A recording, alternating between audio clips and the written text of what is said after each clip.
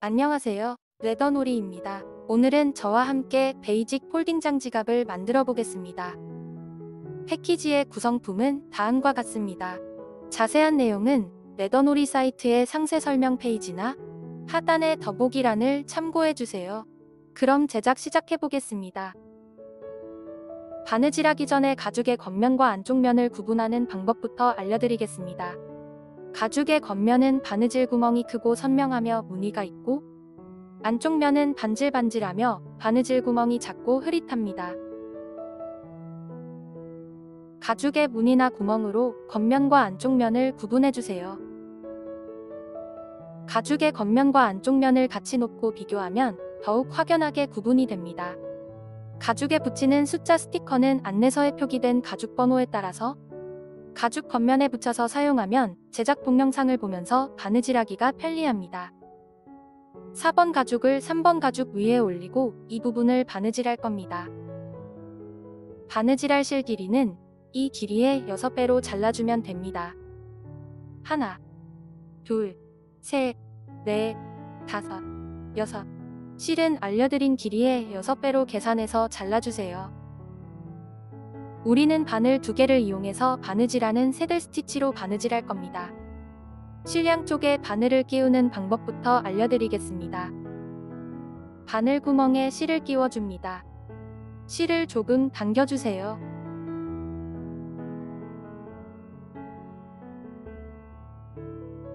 당긴 실을 책상 위에 놓고 바늘로 실 중간을 찔러 통과해줍니다.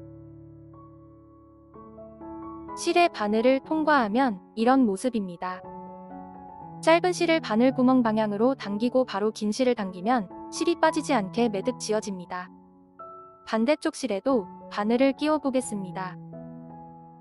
바늘 구멍에 실을 끼우고 조금 당겨주세요.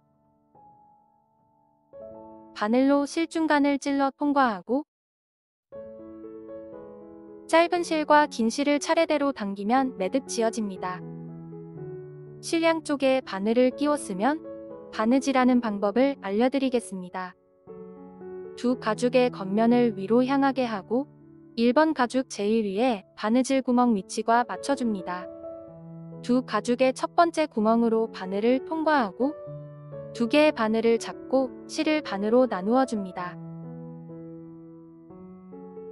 아래 바늘을 다음 구멍으로 통과해서 올려주고 올려온 실은 한 방향으로 놓아주세요. 다른 바늘을 같은 구멍으로 넣어 아래로 빼줍니다. 같은 구멍으로 실이 교차한 후에는 양쪽 실을 잘 당겨주세요.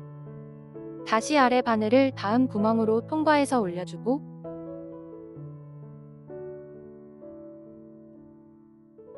다른 바늘을 같은 구멍으로 넣어 아래로 빼줍니다. 다시 아래 바늘을 다음 구멍으로 통과해서 올려주고 다른 바늘을 같은 구멍으로 넣어 아래로 빼줍니다. 지금 배운 바느질은 혼이 없이 바늘 두 개로 바느질하는 새들 스티치라는 바느질 기법입니다. 새들 스티치는 올이 잘 풀리지 않고 튼튼하게 바느질되어서 가죽 공예에서 제일 많이 사용되는 바느질 기법이니 잘 배워두세요. 바느질할 때 주의할 점은 밑에서 올려온 실은 항상 한 방향으로 놓아주고 바느질해야 바느질이 삐뚤빼뚤하지 않게 바느질되며 같은 구멍에서 실이 교차한 후에는 양쪽 실을 잘 당겨줘야 바늘땀이 울퉁불퉁하지 않고 고르게 바느질됩니다. 바느질할 때는 두 가지만 잘 지켜주면 초보자도 예쁘게 바느질할 수 있습니다.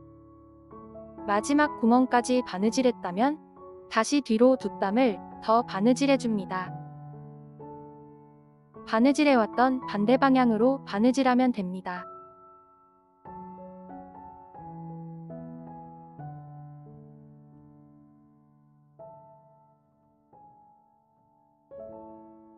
한땀 바느질하고 실마감을 위해서 위에 실을 다음 구멍으로 통과해서 안쪽 면으로 빼줍니다. 위에서 보면 두 땀이 중복해서 바느질 되었습니다. 실을 당기고 쪽가 위로 실을 바짝 잘라주세요. 실을 마감하는 방법은 여러 가지가 있습니다만 여기에서는 순간 접착제를 이용했습니다. 순간 접착제는 실에 바로 떨구지 말고 작은 뚜껑이나 접시가 있다면 그곳에 한두 방울 떨궈 사용해줍니다.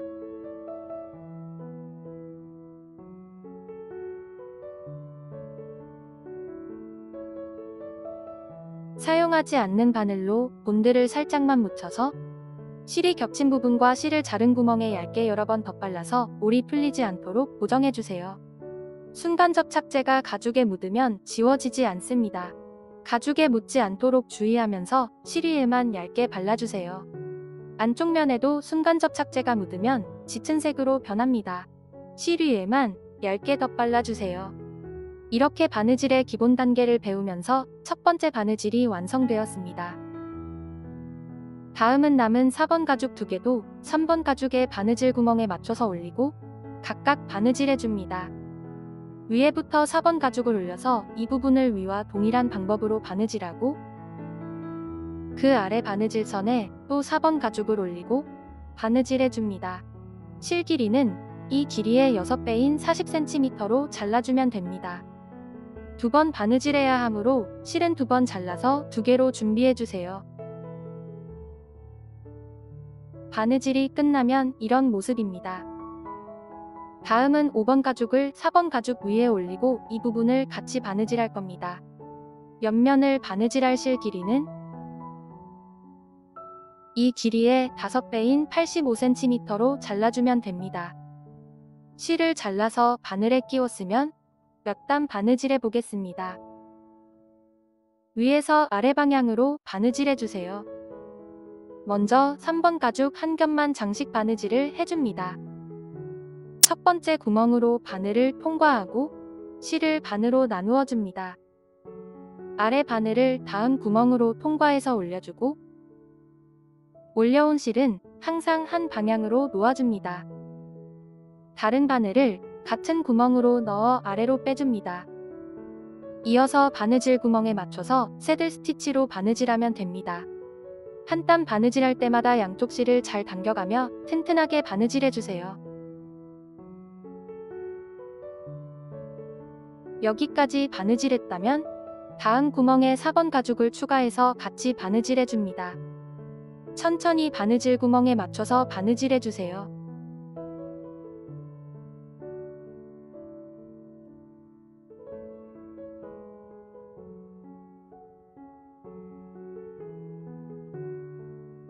여기 4번 가죽과 4번 가죽 사이에 바느질 구멍이 없는 부분은 3번 가죽의 다음 구멍을 통과하고 4번 가죽 사이 틈새로 바늘을 통과해서 바느질하면 됩니다.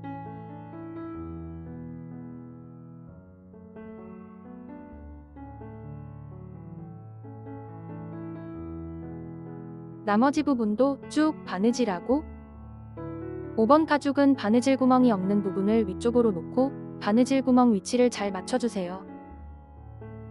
바느질 구멍 위치를 맞추었다면 한쪽 면을 집게로 고정해줍니다.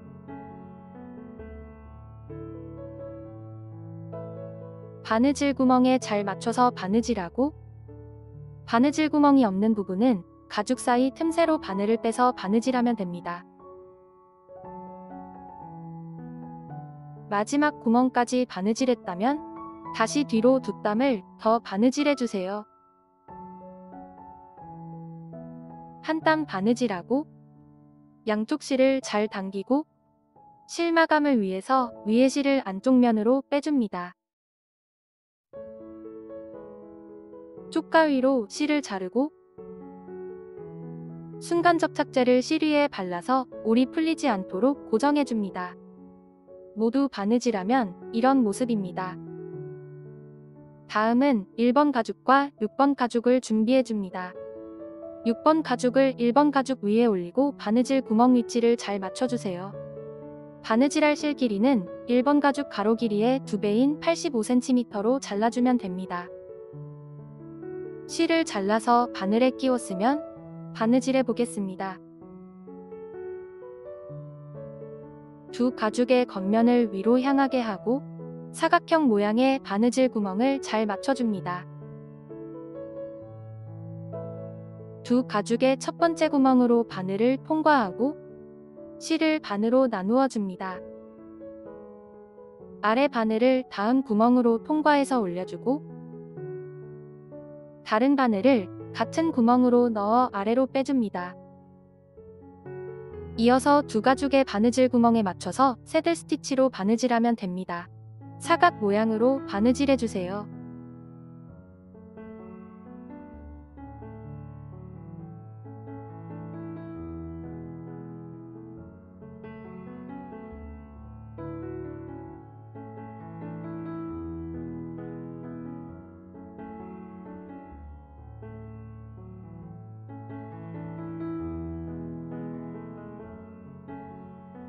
여기 바느질 구멍까지 바느질했다면 좌측 바느질 구멍으로 가로질러서 바느질해줍니다.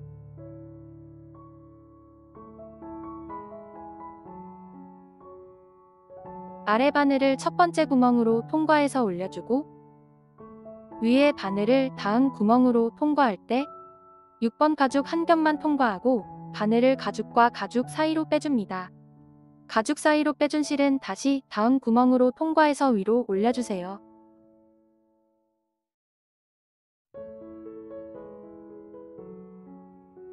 위에 바늘을 같은 구멍으로 넣어 아래로 빼줍니다. 이어서 6번 가죽 한 겹만 장식 바느질을 하면 됩니다. 바느질 구멍에 맞춰서 쭉 바느질해주세요.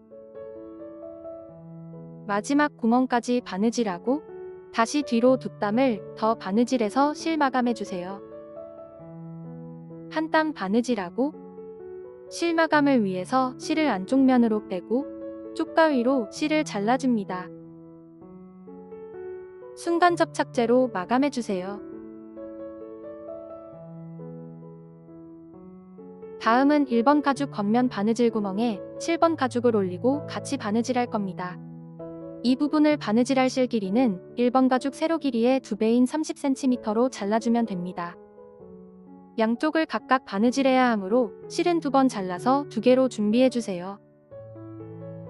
두 가죽의 겉면을 위로 향하게 하고 양쪽에 4개의 구멍을 각각 바느질할 겁니다. 두 가죽의 첫 번째 구멍으로 바늘을 통과하고 실을 반으로 나누어 주세요. 아래 바늘을 다음 구멍으로 통과해서 올려주고 다른 바늘을 같은 구멍으로 넣어 아래로 빼줍니다. 이어서 시계 방향으로 바느질해줍니다. 다시 첫 번째 구멍까지 바느질하고 위로 올려온 실은 대각선 아래 구멍으로 넣어서 사선 바느질이 되도록 해주세요.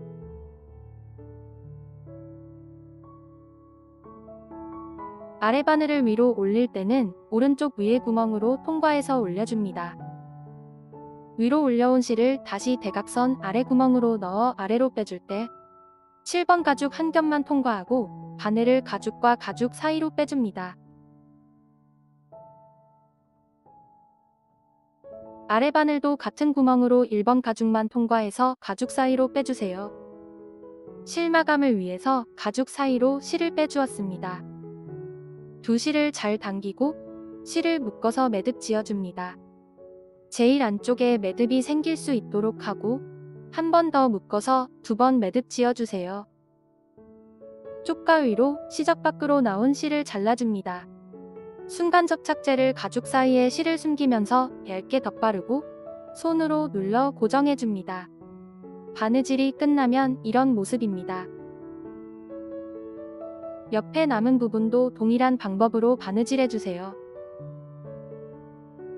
바느질이 끝나면 이런 모습입니다. 다음은 2번 가죽을 1번 가죽 위에 올리고 같이 바느질할 겁니다.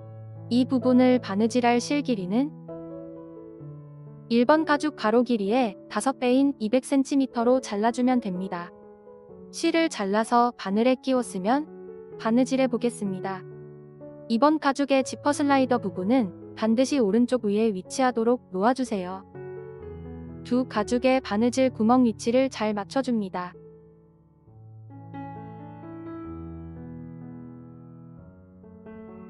이번 가죽의 첫 번째 구멍과 1번 가죽의 안쪽에 있는 구멍으로 바늘을 같이 통과해 줍니다.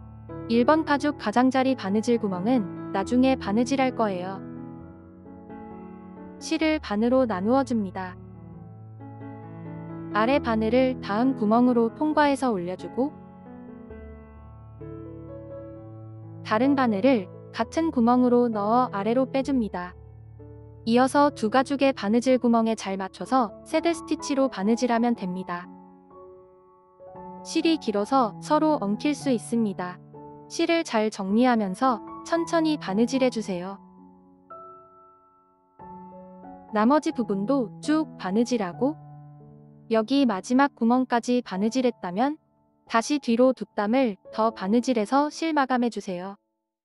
다음은 3번 가죽을 1번 가죽 왼쪽 면에 놓고 같이 바느질할 겁니다. 바느질할 실 길이는 1번 가죽 가로 길이의 3배인 110cm로 잘라주면 됩니다. 실을 잘라서 바늘에 끼웠으면 바느질해 보겠습니다. 두 가죽의 바느질 구멍 위치를 잘 맞춰주세요. 첫 번째 구멍으로 바늘을 통과합니다. 실을 반으로 나누고 아래 바늘을 다음 구멍으로 통과해서 올려주고 다른 바늘을 같은 구멍으로 넣어 아래로 빼줍니다. 이어서 두 가죽의 바느질 구멍에 맞춰서 새들 스티치로 바느질하면 됩니다. 한 땀 바느질할 때마다 양쪽 실을 잘 당겨가며 튼튼하게 바느질해주세요. 바느질 시범은 여기까지 보여드리겠습니다. 마지막 구멍까지 바느질하고 다시 뒤로 두 땀을 더 바느질해서 실 마감해주세요. 다음은 가죽을 뒤집어서 양쪽 면을 안으로 접어준 후 윗부분을 바느질할 겁니다. 바느질할 실 길이는 이 길이의 5배인 90cm로 잘라주면 됩니다. 위와 아래 부분을 각각 바느질해야 하므로 실은 두 번 잘라서 두 개로 준비해주세요. 접은 상태의 2번 가죽을 보면 첫 번째 구멍 아래에 큰 구멍이 있습니다. 1번 가죽의 큰 구멍과 2번 가죽 첫 번째 구멍을 맞추고 오른쪽에도 1번 가죽의 큰 구멍과 접혀진 가죽 첫 번째 구멍을 같이 맞춰주면 됩니다. 실을 잘라서 바늘에 끼웠으면 바느질해 보겠습니다. 두 가죽의 첫 번째 구멍으로 바늘을 통과하고 두 개의 바늘을 잡고 실을 반으로 나누어 줍니다. 아래 바늘을 다음 구멍으로 통과해서 올려주고 다른 바늘을 같은 구멍으로 넣어 아래로 빼고 양쪽 실을 잘 당겨줍니다. 이어서 바느질 구멍에 맞춰서 새들 스티치로 바느질하면 됩니다. 양쪽 실을 잘 당겨가며 튼튼하게 바느질해주세요. 바느질 시범은 여기까지 보여드리겠습니다. 2번 가죽 마지막 구멍이 1번 가죽의 큰 구멍과 잘 맞는지 확인해주세요. 한 땀을 더 바느질해서 매듭 지어줍니다. 매듭 지어졌습니다. 다음 큰 구멍 전까지는 1번 가죽 한 겹만 장식 바느질을 해줍니다. 한 땀 바느질할 때마다 양쪽 실을 잘 당겨가며 튼튼하게 바느질해주세요.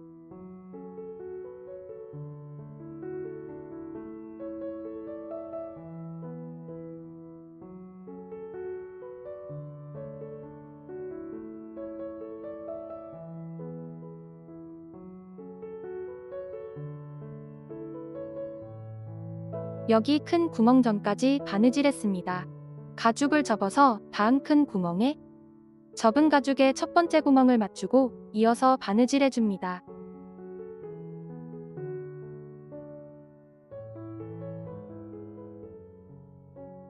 바느질 시범은 여기까지 보여드리겠습니다. 마지막 구멍까지 바느질하고 다시 뒤로 두 땀을 더 바느질해서 실 마감해주세요. 반대면도 잘라둔 실을 사용해서 동일한 방법으로 바느질해주세요. 큰 구멍에서는 반드시 접은 가죽의 첫 번째 구멍과 맞춰줘야 합니다. 동일한 방법으로 바느질하면 되므로 바느질 설명은 생략하겠습니다. 두 가죽의 바느질 구멍에 잘 맞춰서 바느질해주세요. 바느질이 끝나면 스티커를 제거해줍니다. 마지막으로 스트랩을 잠그면 basic folding 장지갑이 완성됩니다. 시청해주셔서 감사합니다. 영상이 도움이 되셨다면 좋아요도 눌러주세요. 새로운 가방의 제작 과정은 계속 업데이트될 예정입니다. 구독과 알림 설정해주시면 빠르게 소식을 받아볼 수 있습니다. 이상 레더놀이였습니다. 감사합니다.